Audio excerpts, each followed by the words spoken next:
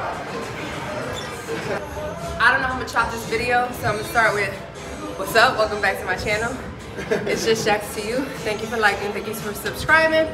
Come say hi Stay Creative homie. 96. Y'all all know me. Health is wealth. I'm tired and I need to stretch. I'm all sweaty. Whole body. We gotta build that mind money. What is it? Not my money. My mind is always a My money. muscle connection. My muscle connection. And my money.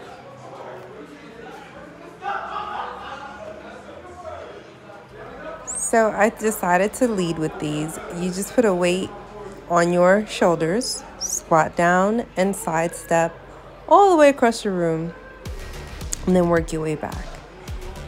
Dre and I actually ended up doing three rounds of this. It's really supposed to be one round, take a break, but we went back and forth for three rounds. So this little movement ends up activating your full body, right? So you're getting work in your legs, in your quads, in your glutes, in your core, in your back. I mean, I kind of feel like this is a no brainer if you try this one, and you don't need to add weights if you're not on that level. Um, but adding weights, you know, helps you build up some strength, maybe a little mass, depending on what your diet is like. But I strongly suggest trying these. These were part of um, some of the drills we used to do when I used to play basketball, except we had to move way faster.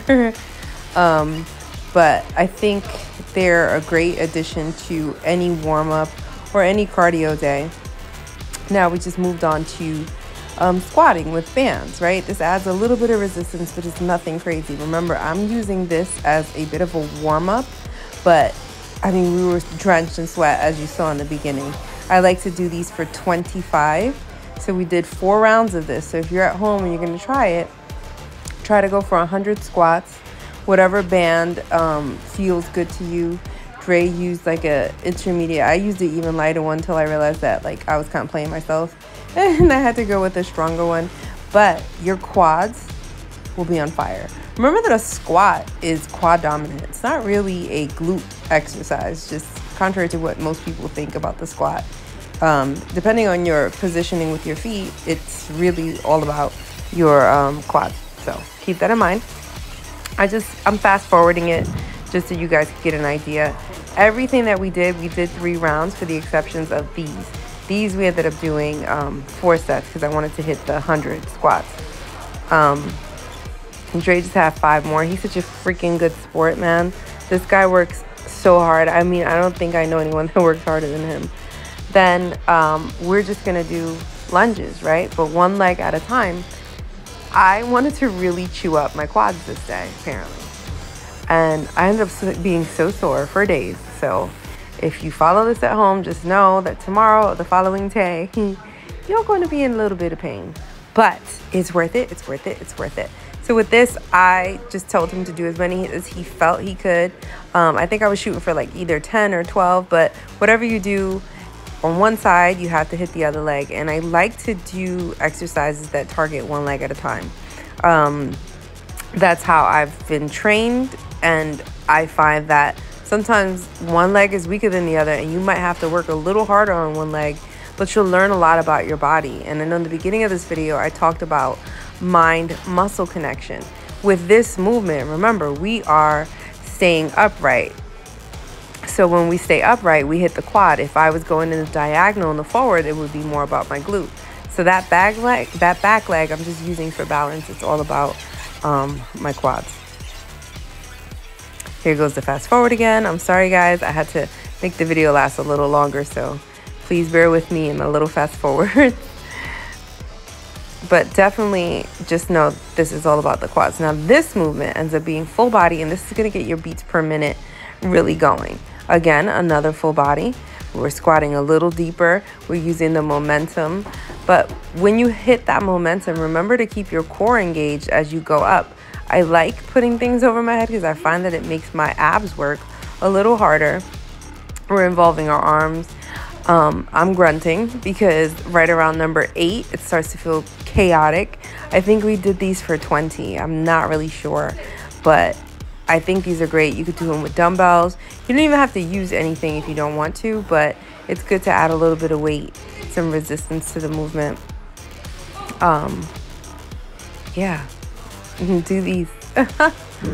Alrighty. Oh my gosh, the way I yell and grunt is so crazy. Alrighty. And moving on to the last thing good mornings. I'm explaining to him about good mornings, right? So it's a primary in our hamstrings, but a secondary to the glute. Make sure you keep your core and your back super engaged through the movement because you're kind of building strength everywhere, but this is all about the hams. But don't sleep because this really does get your back looking uh, a little more arched if you're interested in in that kind of shape, um, which I am. The goal for me is just to try to retain as much weight in my lo- my lower half and just cinch my waist and burn through fat whenever possible in other areas. So do good mornings. I, I think that everyone should do good mornings. Think about it. Most people that get injured, you'll find you hear people say, talking about like their back is out, pinched nerves in their back. This is a very lightweight. You don't even have to add weight to do good mornings to feel them. So, highly recommend you guys get these done at home. oh, I didn't notice Dre dropped his headset. I love his, um, headsets.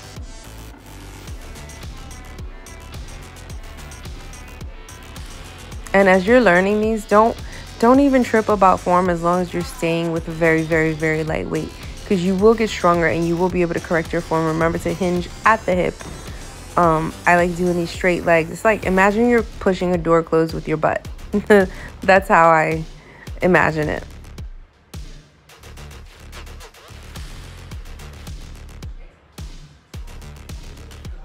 So this, you guys, is a warm up but not really because we did three rounds of things. So we ended up drenched in sweat. It took us about 30 minutes. If you do this at home, try to shoot for three rounds. Um, don't skip it on the good mornings.